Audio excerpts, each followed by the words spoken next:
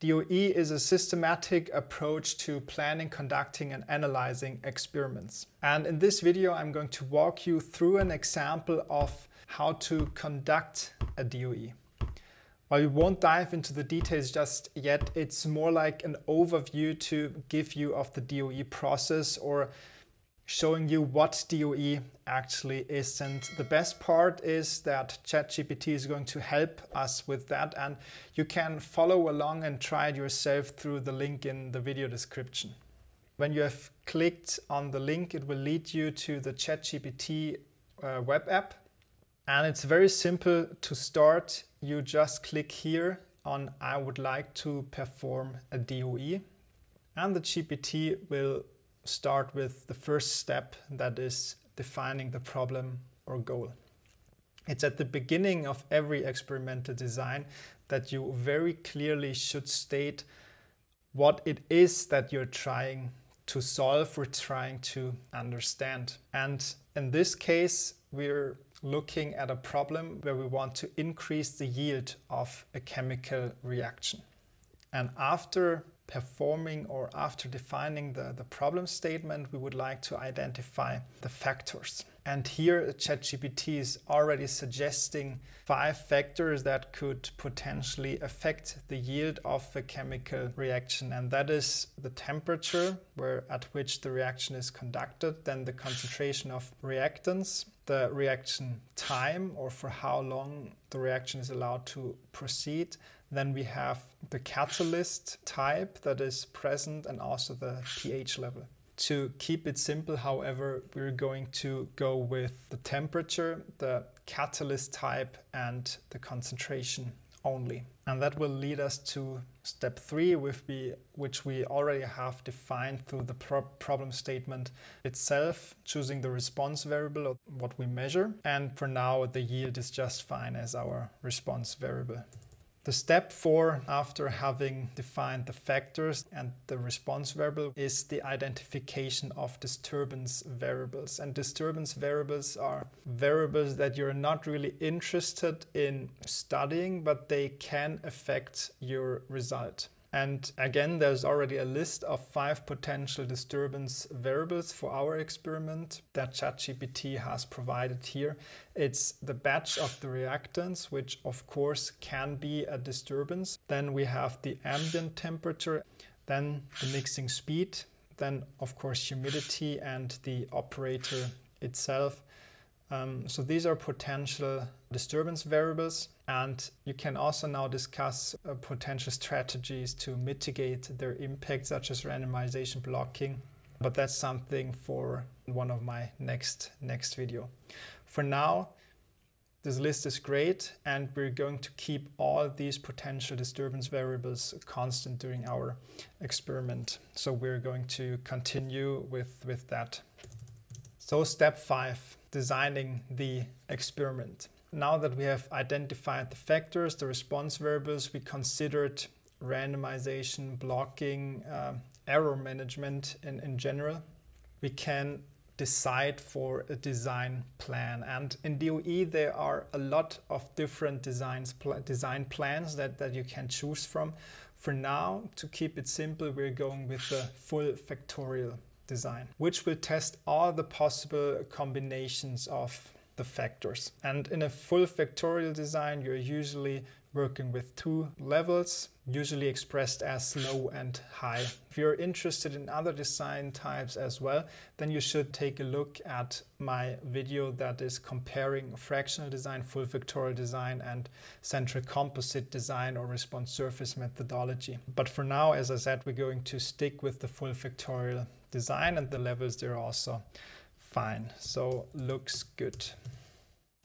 And now step six is conducting the experiment. And based on our input, ChatGPT has created the design matrix for full factorial design with three factors and two levels that will result in eight experimental runs.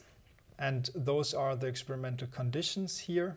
And during the first experiment, the temperature is at its low level concentration is at its lower level and the catalyst type is also at its lower level. And we're now going or running through these eight different experiments. We're recording the yield for each run and then we're going to look at the results. And now you can either upload your own experimental results that you might have or you just go with an example data set that I previously uploaded to, to the GPT here.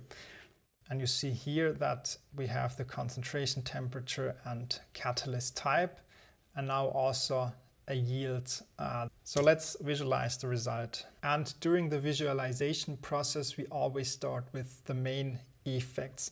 And the main effects, they show the individual impact of each individual factor on the results variable.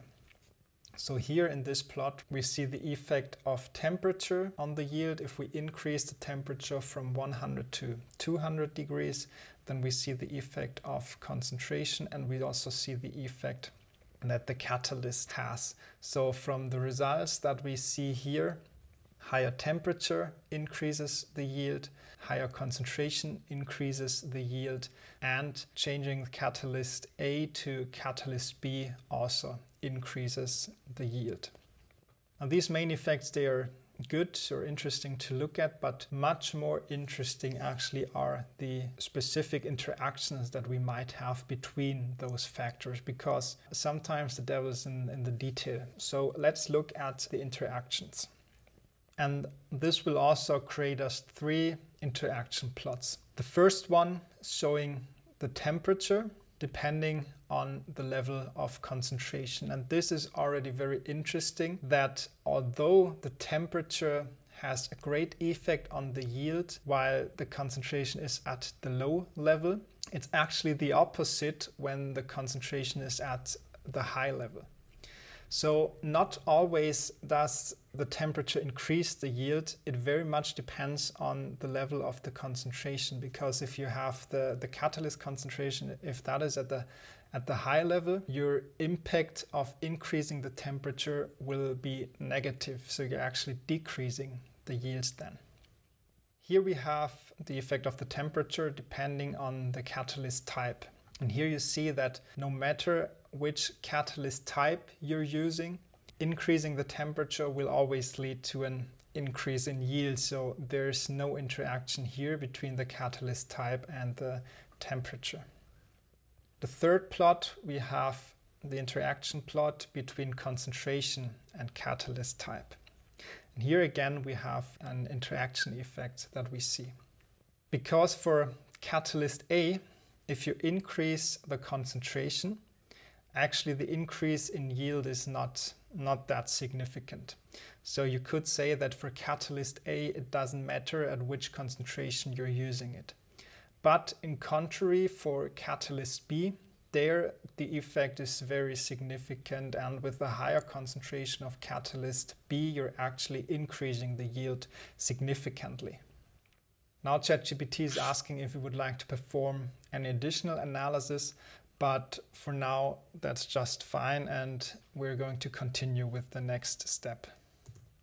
Which is already the last step, drawing conclusions from your experimental design. So based on the visualizations or interactions that, that you have observed, you can draw conclusions. So which are your optimum parameters and settings. Maybe if there are any further experiments required, that's also a conclusion that, that you can draw that you need additional experiments with maybe additional factors.